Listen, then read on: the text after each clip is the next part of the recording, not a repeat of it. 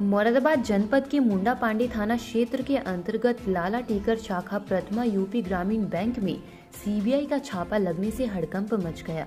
CBI की red के दौरान दो लोगों से पच्चीस हज़ार की नकदी बरामद की गई।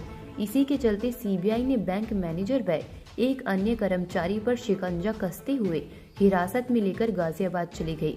रिपोर्ट अजय सक्सेना।